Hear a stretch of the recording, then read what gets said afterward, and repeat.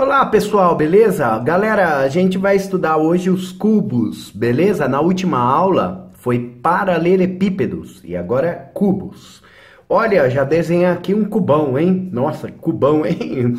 Olha, pensou, volume pensou, hein? Área da base vezes altura. Formou bico, ó o que que forma bico aqui, ó. A pirâmide, o cone, divide por 3. Então, a fórmula para você calcular o volume de um cubo é sempre a mesma, área da base vezes a altura. É igual o do paralelepípedo, tá? E o cubo é esse dado aqui que você conhece bem, dado de seis faces, também chamado hexa, porque tem seis faces. Hexaedro regular, tá vendo? Olha as faces, tudo quadrado, ó, bonitinho aqui, ó, o cubo.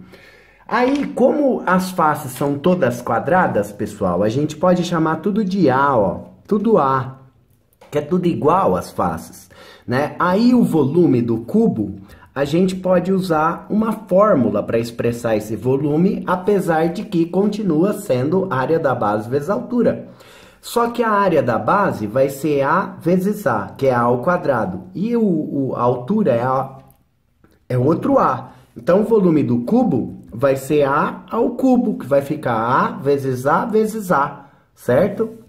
Então, é essa fórmula que te permite calcular o volume de um cubo.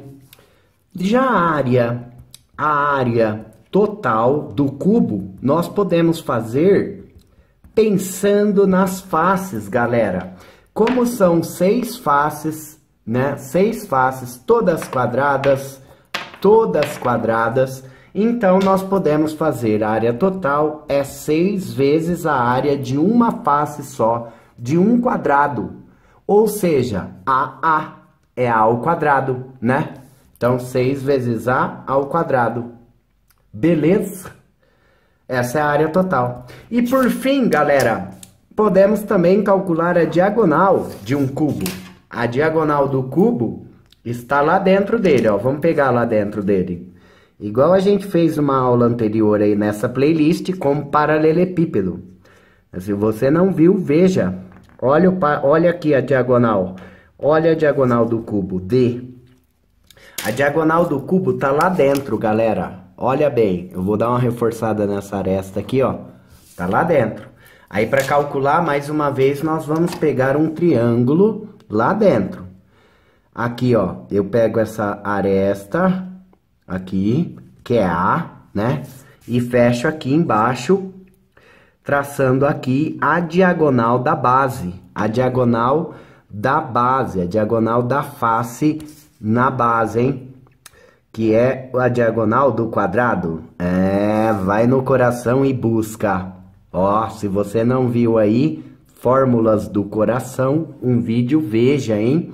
Tem uma fórmula do coração que eu peço para guardar no coração, que aqui é a diagonal do quadrado. Olha ali, ó, é a diagonal da base, diagonal da face, diagonal de um quadrado, né? Uma fórmula para você guardar no coração. L raiz de 2, a gente usa bastante.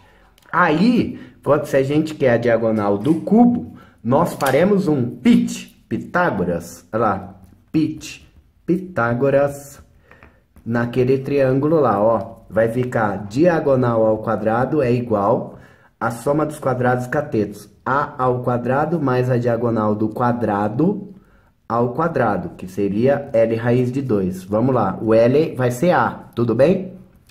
Vai ser A, porque é tudo aresta. Então, aqui, A raiz de 2 ao quadrado. Tá tudo ao quadrado, hein, pessoal?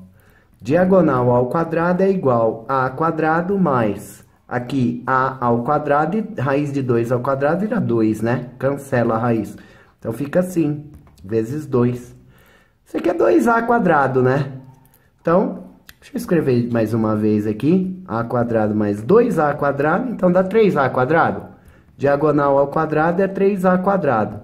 Tira a raiz, você vai ter aqui a diagonal. Tira a raiz de 3a quadrado, o a sai, o 3 fica. Olha a fórmula da diagonal do, quadra, do, do cubo. É esse aqui. Né? Veja só que interessante, o quadrado, né, que seria uma figura plana, não dá para calcular volume nada, porque ele é uma figura plana, ó, ele é plano, só dá para calcular a área dele. Como ele está em duas dimensões só, então é L, que é o lado dele, raiz de 2, a diagonal dele, do quadrado. Já a diagonal do cubo é L, que é a aresta do cubo, raiz de 3, porque ele está em três dimensões. Então, você guardar aqui a raiz de 3 e aqui L raiz de 2. Beleza?